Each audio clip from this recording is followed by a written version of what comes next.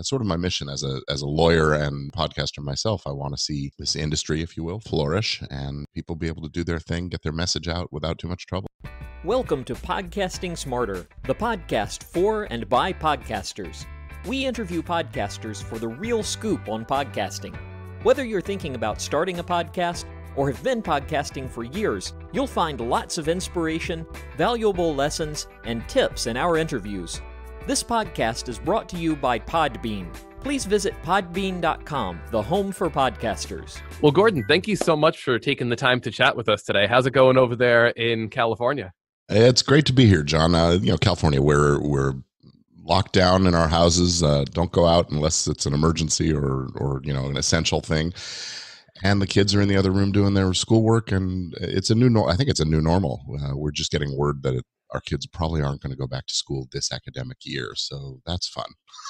yeah, yeah, it's been very similar over here in New Jersey. You know, there's varying degrees of uh, quarantining depending where you are, but we're starting to see that I'm at least I'm happy about it. We talked about this a little bit before we started recording, but Yeah. you know, we are a technological culture now in 2020, and I think that there is more of an embrace for this kind of learning as opposed Absolutely. to let's say 20, 30 years ago. I think this is great. I mean, Yeah, obviously we want the we want everything to get better, but you know, we have the technology to make it until then. I think this will cause be the impetus that moves things into the online space in a bigger way. Also, we're already on the way there, but uh, you know, businesses running online and doing their thing, it's going to be a new normal, as I said. And um, uh, the good news is, you know, for people who've already been creating media, none of this is really that new. Um, the difference maybe you don't have someone come to your studio to do an interview, but you're doing like we are today. And so, podcasters, I think we're ahead of the game. I would say so. Yeah, you've seen a lot of uptick in live streams, and even recently, when it comes to uh, just starting podcasts in this way, in the way of communicating digitally, even over the last couple weeks, I think we've seen a big uptick in that. So it's pretty exciting.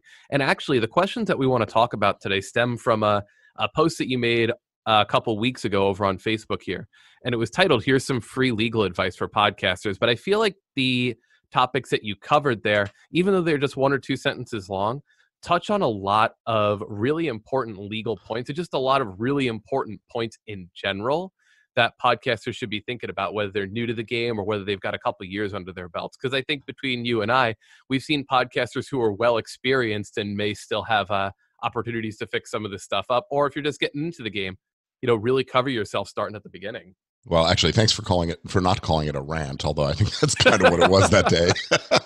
but uh, yeah, you know, these are the, the the things that I see happening often enough that I felt it was worth writing out. You know, some some notes and you know, hey, don't do these things. Do do these things and and uh, protect yourself. That's that's sort of my mission as a as a lawyer and and podcaster myself. I want to see this uh, this industry, if you will, flourish and uh, people be able to do their thing, get their message out without too much trouble. So glad to be able to help people. Absolutely. So we'll just start right at the top here. The first thing is in your post, you said just use a release with your guests. It's not that hard or expensive, and it could save you someday. Um, I'd like to ask you, why is it important to have a release form for your interviews? You know, I think a lot of podcasters, they only see the content side of the podcast and of the interviews, but I think sometimes we tend to often overlook those God forbid scenarios. You know, you turn around and an interviewer says, Hey, or someone who you interviewed may come back and say, I don't want that up anymore. Uh, tell us why it's important to have a release for your interviews. Well, first off, you need to have you know a formal permission from the person to record their voice in in most states not all states but we have you know the person has a right to say yes or no to being recorded and beyond that even if you're in one of those states where you only need one side of a conversation's permission to record to use it in a way that that you know makes it public is a different game and uh, you need you need a person's permission to make their performance if you will uh, public so step one is the permission. Step two is ownership of the content. You know, if you don't have the the right language, you know, there there can be questions raised about whether you actually own the whole thing or does the other party own a portion or, are you co-owners of the recording or those kinds of things. And then you get into questions about money you know if, if you do monetize your show or if you use that material later on as a part of a information product or you know behind a, a paywall or something like that does that person have a right to get paid from the stuff that you did together? Um, and then finally there's yeah there's that issue of somebody coming along and saying you know i changed my mind. I don't want that podcast uh, that recording to be public anymore. Take it down.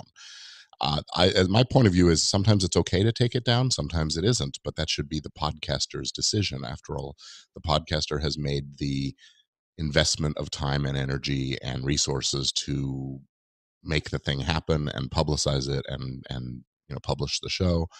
And so it, it should be on squarely on the podcaster's uh, side of the equation to decide whether or not to take it down. After all, some of us are doing, you know, what I would characterize as true journalism.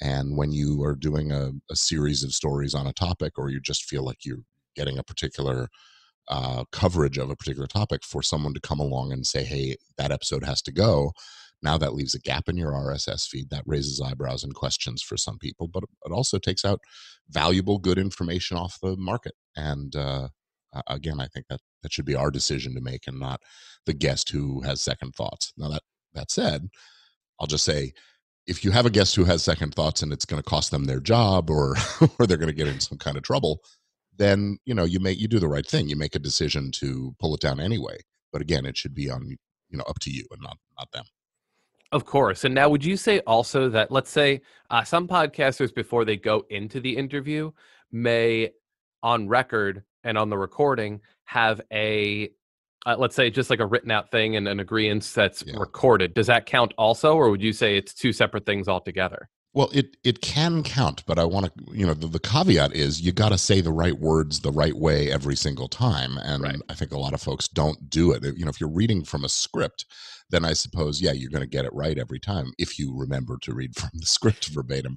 Uh, and so I actually do uh, offer a free release form that people can get uh, downloaded. Just visit podcastrelease.com and give me your email address and I'll send you this form. And in in the packet that you get, the, the PDF that you'll get, there is a, a sort of a script for it as well.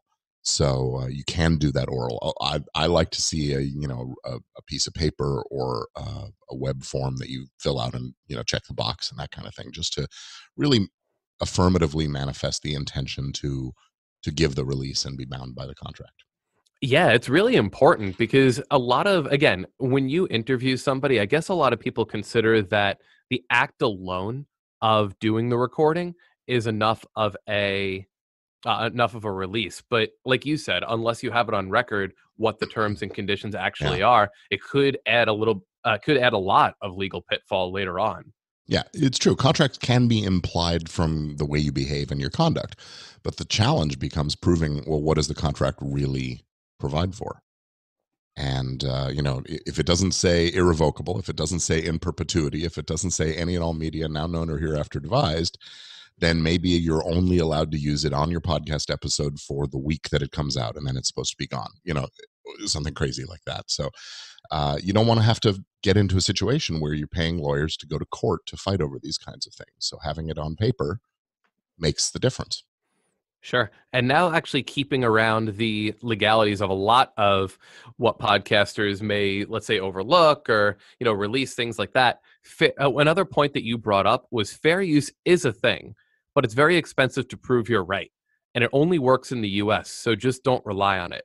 Um, copyright.gov defines it as legal doctrine that uh, legal doctrine that promotes freedom or expression by permitting the unlicensed use of copyright protected works in certain circumstances, providing the statutory framework for determining whether something is fair use and identifies certain types of uses, such as criticism, uh, comment, news reporting, teaching, scholarship, and research, and as examples of activities that may qualify for fair use. Uh, there's a section 107 that dives into the specificities of that, mm-hmm. but how can podcasters ensure that they fall within the rights of fair use? Because again, sometimes it seems like there may be a uh, misunderstanding of what fair use covers, especially when you're talking about it in the audio world and even more specifically in the podcasting medium. Yeah. Well, the short answer to the question about how, how podcasters can ensure that they fall within the rights of fair use is that they can't. That's um, fair. go to court and fight the lawsuit and that's how you prove it and you insure it. And that's the real problem. So you know fair use is this very complicated legal doctrine. I, I, I would characterize it although it, it's a question of whether it really is legally considered a defense to copyright infringement. The way it operates is somebody sues you and you go to court and you say, "But Your Honor, it's fair use. Let us out of this lawsuit." So you're defending, right? And because it's a complicated standard, a complicated four factor analysis that you have to go through on each individual allegation of copying, it's very time consuming and costly to do that lawsuit, to fight that lawsuit. And when you win, you don't get your attorney's fees covered. You don't, you know, you're still paying your lawyer to to get you out of this you know quagmire i guess. So uh, that's why i say just don't rely on it. Now the fact of it is the four factors it, there are some situations where it really does work. And there is some law that says uh, that a plaintiff is supposed to consider fair use before they bring their lawsuit before they bring the dmca takedown notice because they they're if they're if they're exercising their copyright rights in bad faith then they could be punished with fines and and penalties too. So you know you got to figure out these these four factors and you notice that it's uh, in what you read that criticism comment news reporting teaching scholarship and research are examples of activities that may qualify as fair use. It's not a given that if you're doing teaching or, or research or news reporting that it's automatically going to be fair use. It's going to it, there are three other factors to be considered. So uh, i can go over the factors if you if that's useful but it, it, uh, my point is that it's really a very complex analysis. You have to think about what the original uh, took from the I'm sorry, what the what the copy seems to take from the original and what the purpose and character of that is. How much was taken, the amount and substantiality. You have to consider the nature of the original and and whether this new use is sort of transformative. Does it change the the fundamental character of the work? And the fourth factor is the the potential impact on the market for the original. So when you use a little piece of music in your in your show open, there's a market for licensing music. So it's not like you can't get it otherwise. And yeah, you're using probably using the hook of the music, which is the amount and substantiality portion, and you know, using it as a show opener or something like that is uh, sort of a quasi commercial use. It you know, even though your podcast may be educational or scholarly or, or reporting, the intro is a promotional thing that you're doing you know so i don't think that weighs necessarily one way or the other. So you got all these factors to consider and um, ask a judge or a jury and you know it's hit or miss. Every case is its own case and you got to prove it. That's the hard part. And I think that's an important point that you brought up too, because if your medium, like let's say you run a podcast that's solely around education and you have a tag from one of your favorite artists that you know intros you for the first let's say three to four seconds of your podcast because your podcast is educational it may not mean that the use of that music is specifically fair use. So it's a matter of the intent of use is what it sounds like you're saying too. Yeah let, us actually talk about that a little more because sure. you know if, if it's an educational podcast but you're using a piece of i don't know rolling stones music just as a as a bumper between two segments of your show well that's not educational. That's just production stuff right? Right. Now if you were talking about the musical structure of the song and and the melodic line and how Jagger's voice combines with Richards's guitar, you know, that kind of stuff. That might be an educational analysis of the song that would be or is more likely to be found to be fair use. But that bumper or the open and close music or or even if it's just a music bed under you talking, that's not really educational use, even though the show itself might be educational in nature. Right. And you see, I think YouTube now really taking a lot of stances with this. You know, there's so many YouTube videos out there that you're talking about a five to 10 minutes, sometimes an hour, and it just says, I don't own it, but this is under fair use. It's like, well, not that, that doesn't count. That doesn't do anything. But right. like you said here, it's really a matter of the, you know, the length and really the, the medium that you're using it for, or the, the reason I should say, not the medium. But, right. And actually, speaking about that, sticking on music, there's another point that you brought up. Don't use pop music. Just don't. Unless you get all of the right licenses. And as a musician myself, I've often told podcasters in our webinars and just in general in our support, as much as we aren't, let's say, the the legal of podcasting, today's landscape, just like with guest releases, the best mode of using music is to get a release from the artist, much like the releases we discussed at the top of the show for the interviews. Uh, with popular music, this obviously becomes harder since you don't only need one license and you may need multiple. Yeah, the, one of the misconceptions in what we were just what you were just saying is that the artist necessarily has the the right to give you the permission to use their music. If uh, you know, most recording artists are signed to a record label, and that means that the recording company, the record company, owns the copyright in the in the recording of the song. More importantly, there's probably a songwriter who wrote the the musical composition that is embodied in that recording. And may or may not be the artist but even then most artists most i should say most recording art uh, most musical music songwriters that's the word i'm looking for. Most songwriters uh, are signed with publishers and so the music publishing company actually owns the copyright in or at least the right to administer the copyright in the composition. So right there, you've got if you ask the artist, the artist may may even think that they have the right to do it, but often they don't. So you, if you if you're going to use a piece of pop music, you need to get permission from the publisher that owns the the copyright in the composition. You need to get permission from the recording company that owns the the master recording involved, and you need the permission to use it in several different ways. One way being the streaming, uh, whether it's a live stream or or a streaming on a on a website with a player, that's one kind of a license. And on the musical composition side, that stream would be considered a public performance, and that would be regulated or, or administered by the public uh, performance rights societies, the uh, ASCAP and BMI and SESAC and GMR here in the U.S. And in other countries, there are other societies. So you don't even get that license from the publisher; you get that from one of those entities. Then for the for the recording i'm sorry you so you have the stream and for the recording the stream would be managed by um, either by the record label or an outfit called uh, SoundExchange. And then for the download you got to go direct to the publisher and direct to the record label for those things. So it's four stop shopping number one, I can always appreciate when somebody talks about PROs and they bring up SESAC. So thank yeah. you for that.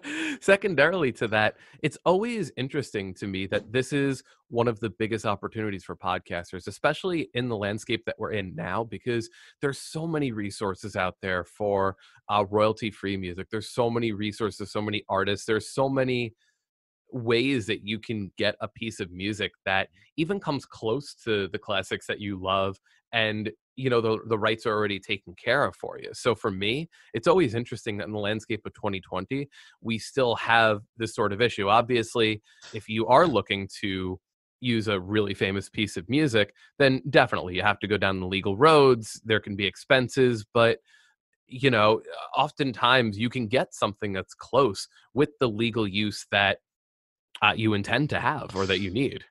Absolutely, and and you know, I I understand people wanting to use the famous music that that they hear on the on the radio or that they have you know they bought the albums from that artist. You know maybe there's someone who loves to do a music based podcast where they're you know literally reviewing an artist's uh, the anthology of an artist's work for example or something like that. I, I get the desire to do that. And and a lot of people have grown up in in an environment where you would hear those shows on the radio on Sunday night or something like that. And, and so the thinking is, well, if they can do it on radio, I can do it on podcasting.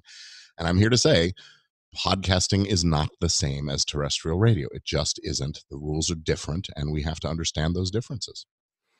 Now, to change gears a little bit here, the next point that you say is you should use an LLC if you plan to monetize. Seriously.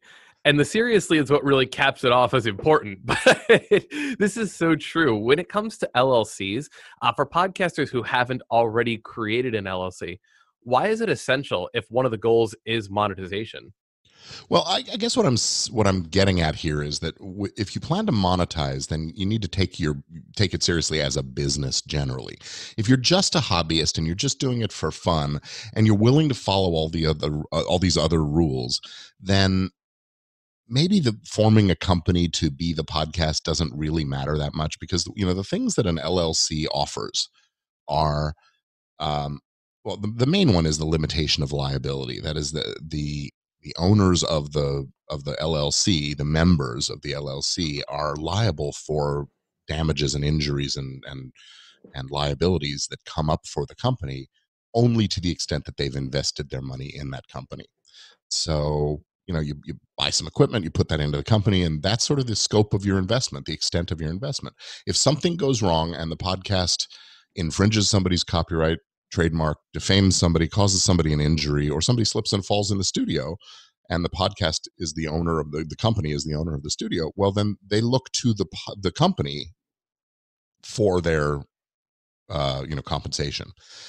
And uh, and they don't get to come after your house and your car and your pension fund and all those kinds of things so that's the big reason why I think people need to form an LLC. But another thing, and by the way, when you're entering into contracts like with sponsors or or doing um, um, endorsements and affiliate relationships and things like that, doing it in the name of the company again separates the individual from from the business in, in, ways that are useful for the government regulatory side of things and and the breach of contract potential as well. Uh, other reasons that you do an LLC are to uh, help uh, establish and and uh, define the management and ownership structure if you have co-hosts or partners bringing them into an llc where the you know relationship is very clearly defined with a with a, a good operating agreement and you know the equivalent of bylaws basically of how the business is going to run that's very important um, uh, it, it provides a little street cred people like you know companies and businesses like to do business with other businesses rather than just you know John in his basement over there, that kind of thing. Sorry, I don't know if that if you're in a basement, but uh, um, the you know so so uh, yeah, so I, th- I, think the LLC oh, and it, it provides some tax advantages. A, a business can often take tax deductions for things that an individual can't you can you can use it to set up pension plans oh, so there's a lot of valuable reasons to do it and if if making your podcast a business is the goal and by by making it a business, I mean making money from it. Uh, I think that you need to start acting like a business. And the sooner you start that LLC and get yourself organized, the better, because it's just easier when it's, you know, you've got a new podcast. Uh, you only have those few episodes that you've done maybe to, to, to bring into the company and transfer ownership. The more you've got out there before you form, the more you've got that sort of long tail of liability and risk related to the old stuff. And you know, look, it could be years later that somebody discovers your episode where you said something that hurt their reputation or something like that. So, uh, yeah, I, I think early and often form your LLC. I think because of the podcasting industry being relatively simple and simplistic to start up, simple to host, simple to record, and you can really do whatever you could talk about whatever you're looking to talk about on a podcast. I think we often overlook the importance of an LLC, the importance of like we were talking about a little bit before, or like we'll talk about now, podcasters agreements. You know, you yeah. bring it up, uh, co-host should sign a contract. It's like a prenup. Work it out before you get frustrated with each other. Um, it can be a sore topic sometimes between hosts. Again, it, it's not always the most comfortable conversation, but honestly, if you're even in a looser, like fun working relationship with somebody else, this can be a real lifesaver if the host declines or or anything happens with the relationship between members. A member leaves for some reason. Uh, why do you think it's a sore topic, though? If you're talking about, even if you're not talking about a, monet- a monetizing podcast, why do you think this could be a sore topic? Well, I think everybody gets invested in what they're doing and they feel like they want to own, you know, their excuse me, their share of whatever it is that they're doing. And so, you know, look, when when the basic rule is this, uh, and this is copyright law 101, when two people come together to create a single work for, you know, a unitary whole, uh, they are joint owners, joint authors of that work, and therefore both own the copyright. So, unless there's something specific that changes their intention, uh, that manifests that they've changed their intention. So that's why having an agreement that says, "Hey, the show belongs to host one." And host two comes on and does their thing and, and is entitled to whatever they're entitled to in terms of percentages or something like that. But it will be owned by host number one um, I, you know, I think it's possible to, what am I trying to say? Possible to uh, balance things out in such a way. The fact of it is the host number one is also going to carry the, that liability for the show, or the or the LLC would carry that liability. So, um, you, you look, people get bent out of shape after, especially when they've been doing a show for months and months or years and years together, and then someone says, "Okay, it's time to formalize this relationship." You know, the show's mine, right? Right.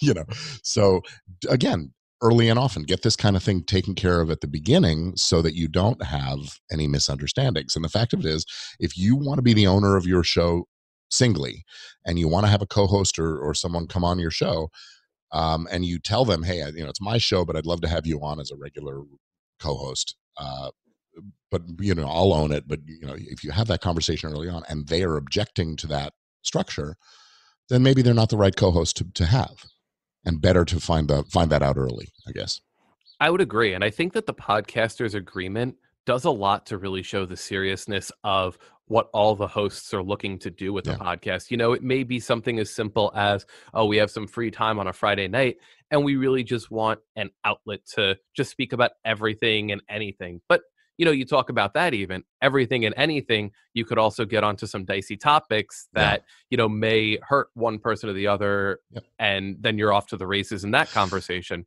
But and then you yeah. get into the, yeah, go ahead.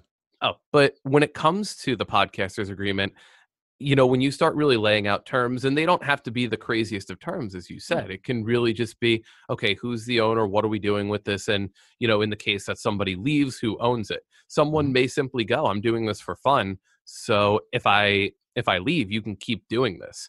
You know, it really I think puts a lot more onus on a podcaster to realize what podcasting can do because you're still it's a, still a broadcasted medium once you record a podcast if you put it on you know podbean or you put it on apple podcasts or wherever you go to mm-hmm. it's now public it's for consumption so you're still having to take some sort of accountability for it you and whoever you're working with at some point or another yeah.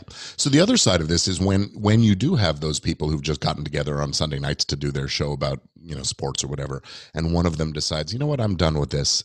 Does you have to evaluate is that going to end the show? you know what if you what if the person's ticked off and doesn't want you to continue the show even though they're the one leaving you know so again having a, a, clear agreement about who owns what and who has the right to do things and, and so on and maybe it even includes a buy sell provision you know if you if one of the parties is is asked to leave or chooses to leave then we will pay them out this way or we will you know continue to provide them uh, a portion of the revenues from the first hundred episodes that they were on, or you know, though you, you can you can you can try to anticipate all those kinds of things or not in the agreement and uh, and just deal with it. I want to tell just one story about a client of mine uh, this happened last year where uh, he he this is a guy who owns a podcasting network and one of the shows on the network was one of these you know tv follow-up shows where they would discuss the episode each week and in between seasons at one point well along the way he ended up having various co-hosts on the show and it, it, along the way one of them sort of emerged as the main co-host of the show and then eventually the co-host sort of was in a position of being the main host and my client ended up being sort of the co-host on the show and um, at some point they they had a little bit of a disagreement about how they were going to monetize were they going to do a patreon or were they going to do direct advertising or were they going to just you know ask for donations or, or whatever it was and they came they had a little bit of a friction about it and at some point this is via text messaging. Be careful about text messaging.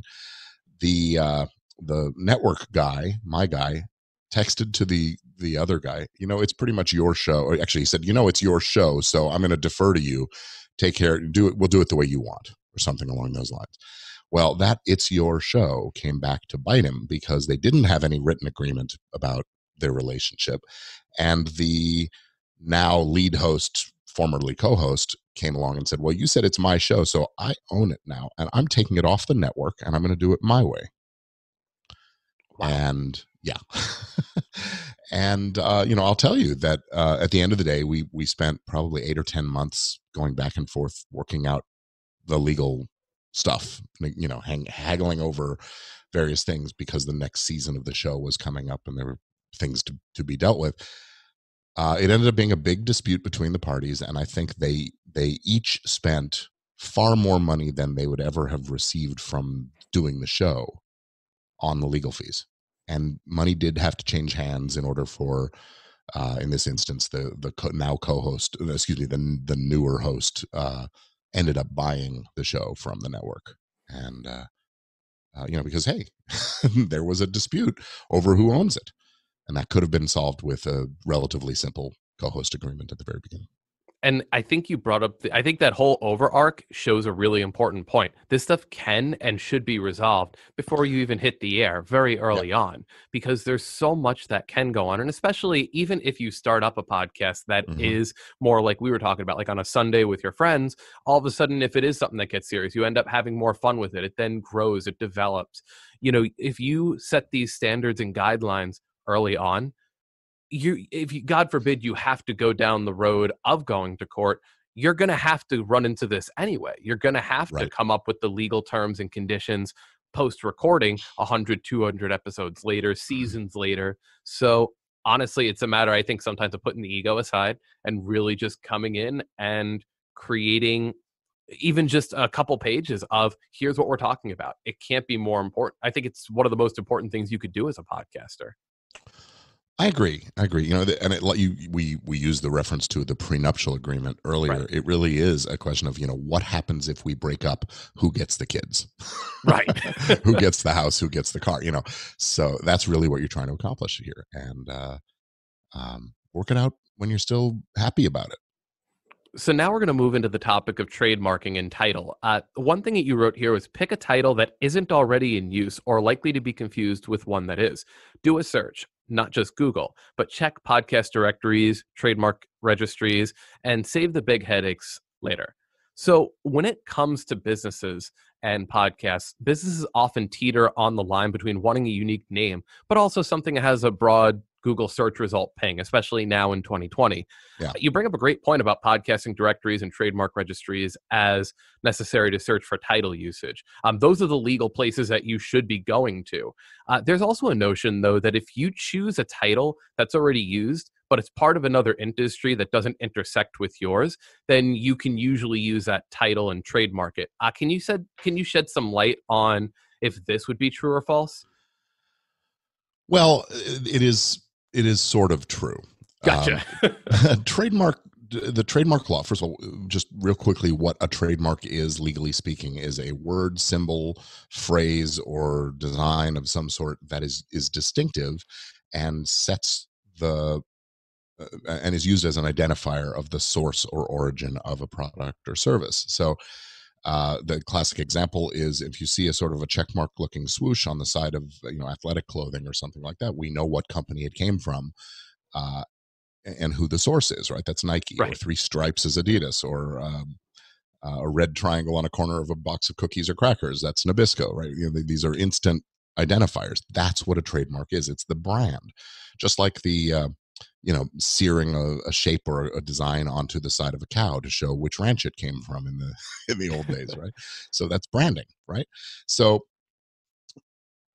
you want to cho- that's why i say you want to choose something that's distinctive because otherwise you don't have the kind of protection that you're looking at. Now this question about picking something from another industry uh, it is true that trademarks are are registered and categorized in these various classes of goods or services, and, and, podcasts fall into basically two classes. One is the entertainment media kind of thing. That's class forty one for those who are following along at home, and uh, the other one is class nine, which covers downloadable recordings.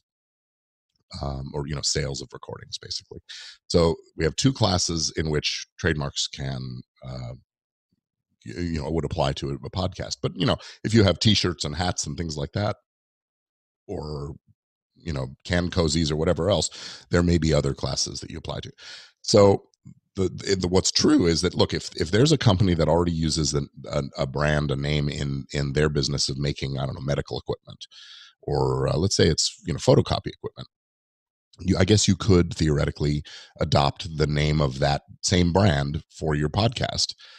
Um, more importantly, if you're not actually talking about that product or service, because then you get into some weird, weird questions. But it, you know, so if but but again, there are certain trademarks that are so powerful, so strong that you wouldn't be able to get away with it by adopting that. So, uh, if you if you create the Xerox podcast, right, or just the show called Xerox, people are going to be confused. They're going to think that the Xerox company, the company that makes copiers and computer equipment, has something to do with this podcast. And that still is trademark infringement.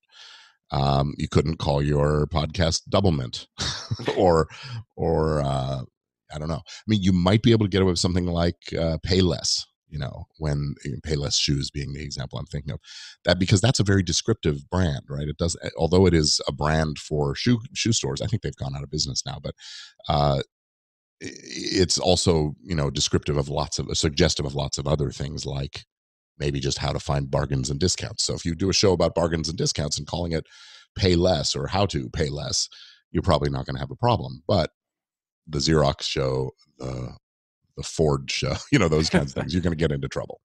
So, um, I, my my feeling is you want to choose something that's very distinctive and that hasn't been used by anybody else for anything that might remotely suggest a connection between the two.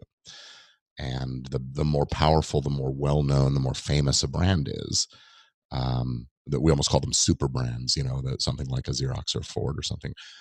Just stay as far from those as you can.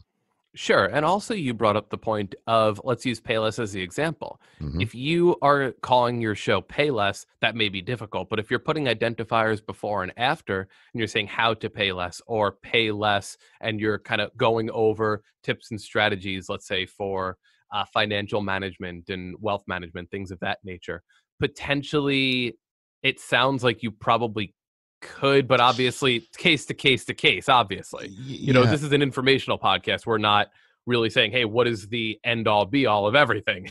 Right right. So again it's that question of distinctiveness and and does your choice of the wording distinguish you from the other?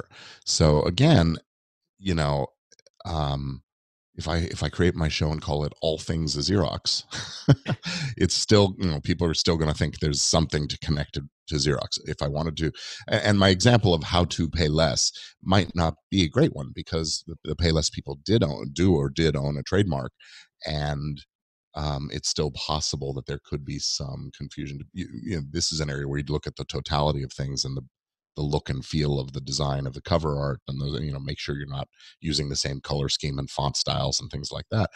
Um, where it becomes an interesting one is when you have these TV show oriented uh, uh, show podcasts. Um, one uh, one fellow who's fairly prominent in the industry had a show about a particular TV program, and uh, his look and feel of his artwork. And he mentioned the name of the show in the title of his podcast, which you sort of had to do in order to describe what the show is about, right? He ended up having some trouble with the producers of the show because they found that his uh, cover art looked too much like the TV show's uh, graphic design for the posters and things like that. And so they ended up working it out and and uh, uh, getting him to make a few relatively minor changes that allowed him to proceed. And then they had an agreement between them going forward as to where the where the boundaries were. Um, so it you know sometimes is possible to sort of coexist with another brand, but again, you know, be thoughtful about it and consult someone like me before you go into that. If you're if you're getting into that situation, you you'd all, it is always better to call your lawyer before you get into the issue rather than when you get that nasty letter from their lawyer because it's just going to be more back and forth and more expensive to to work with folks. So Of course. So when it comes to the podcasting world, especially as we talked about earlier, a lot of podcasting outlets can be considered journalism or can be considered review shows.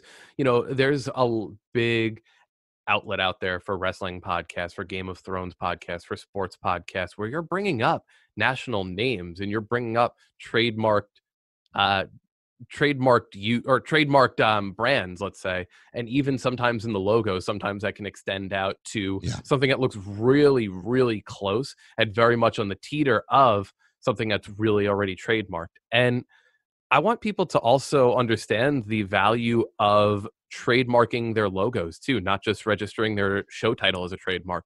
You know, podcasts are about a wide range of topics, but there's so many subgroups that happen, you know, and especially me, I run a wrestling podcast. Our logo is a ring with uh three ropes and things, but the way that we have it, we worked it out with the artist to where it's our own logo. We trademarked it, but show titles and logos can be extremely similar in the market of these subcultures and i think it's really important for you know podcasters to understand that not only should you register the show title but when you come up with these different images it's a due diligence to your podcast to be able to register those images as well Not yeah, uh, I definitely agree with that. Absolutely, it's important to protect your branding um, again early so that you don't end up with people coming in and using uh, similar confusingly similar branding for their shows i uh, just want to give a little anecdotal you know story here I, I, have a client who has a show and by the way it, this is similar to the pay less where it's very suggestive or descriptive of what the the brand is in this case the show um, uses a title that is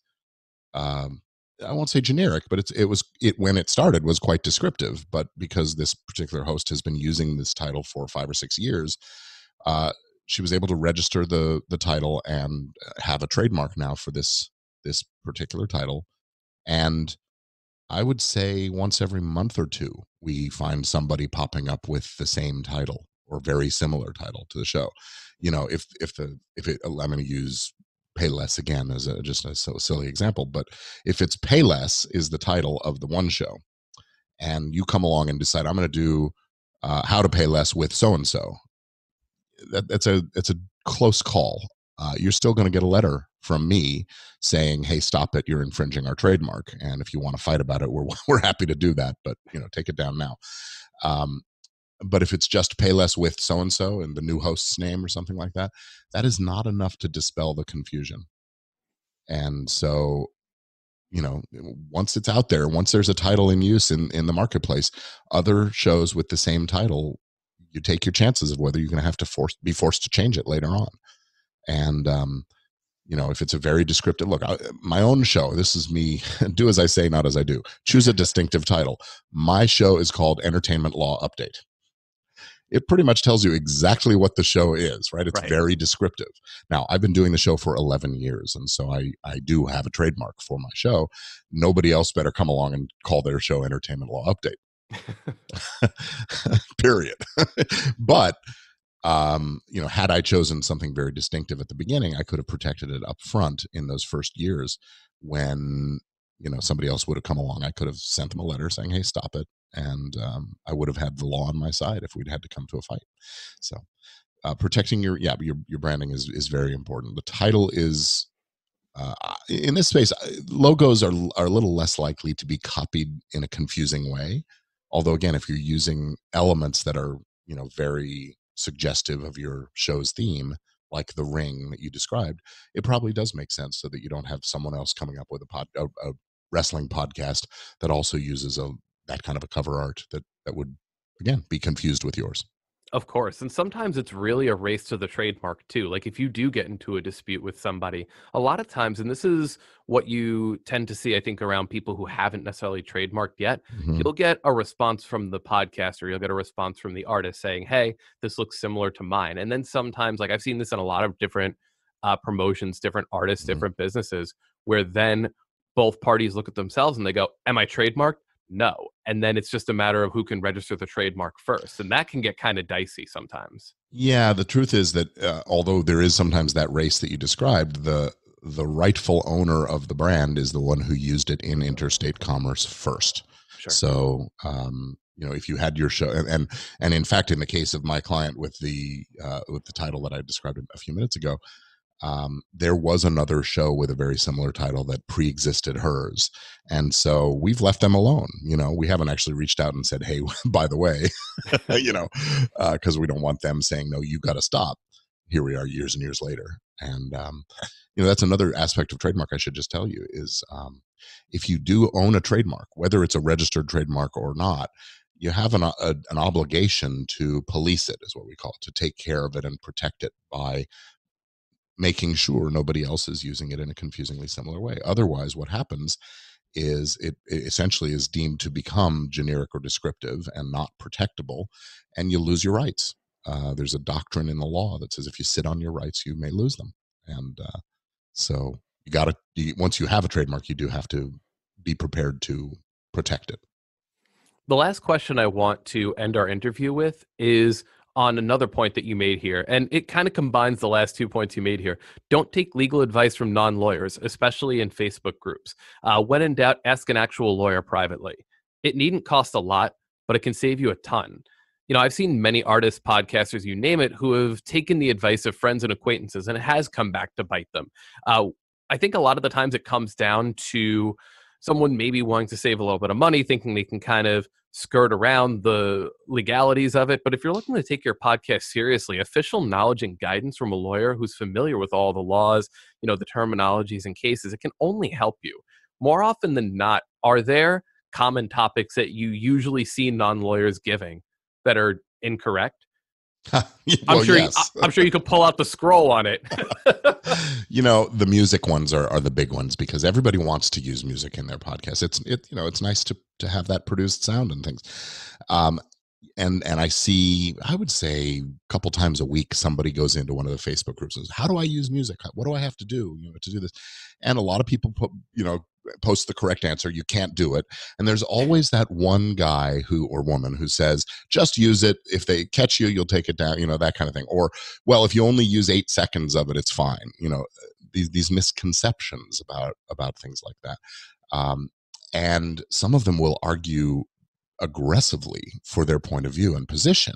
Now, I, as a lawyer, I go in and, you know, I probably shouldn't really be rendering legal advice in the, in the Facebook forums and groups, but I'll go in and just say, you know, that's not right. That's not how copyright works. You should talk to, you know, whatever. And uh, just, you know, my point about don't take your advice from non lawyers is a lot of people have the right information, but only partial information.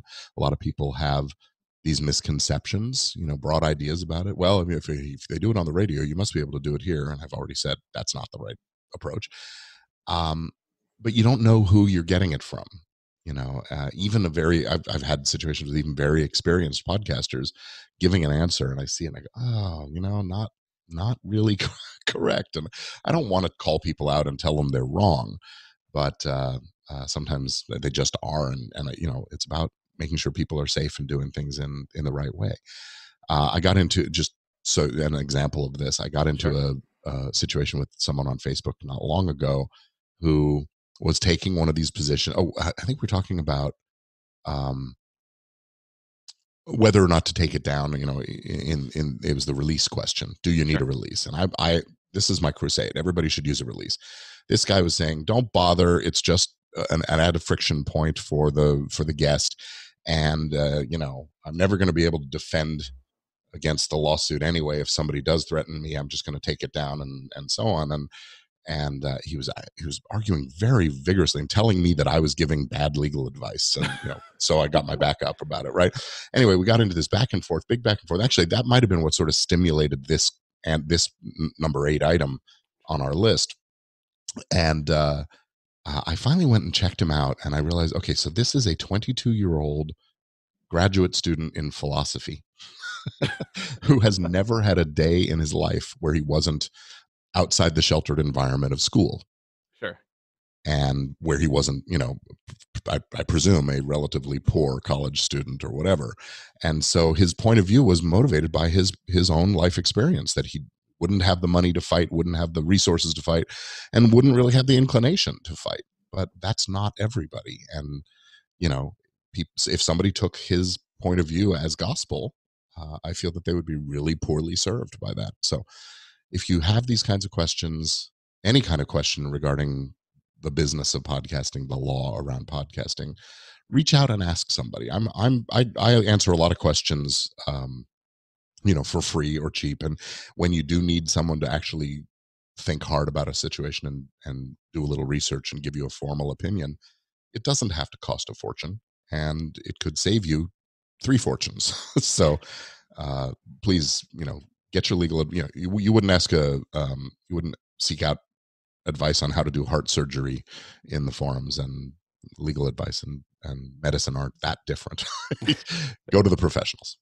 Absolutely and i think that you know a lot of people and i've heard this also within the different industries just because somebody gives you the advice doesn't mean that they are in the right it just means they haven't been caught yet. And when it comes to a lot of these smaller uh, podcasts asking the advice, again, it's like we talked about earlier. You could have somebody who's doing uh, podcasts just on a Wednesday and they really just like the art of podcasting. Mm-hmm. But there's that one thing that all of a sudden, uh, someone who's part of a bigger corporation or a bigger podcast could all of a sudden land across yours.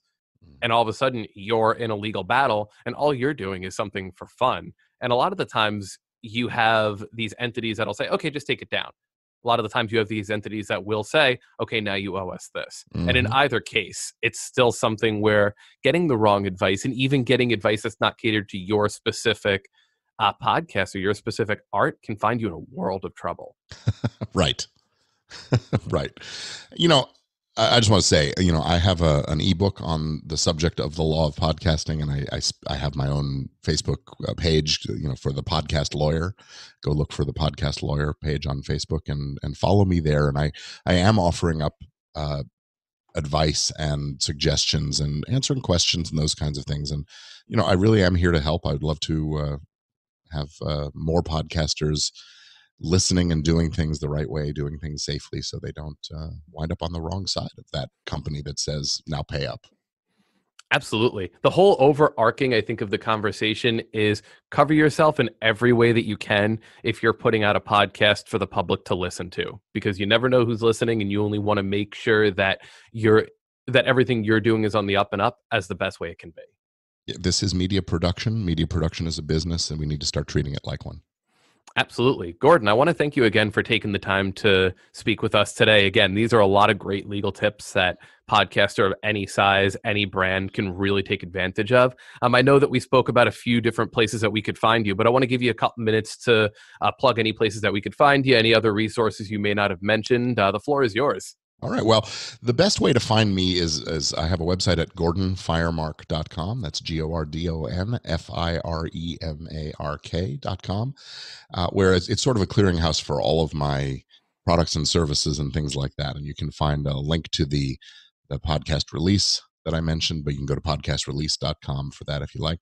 The ebook is uh, at podcastlawbook.com.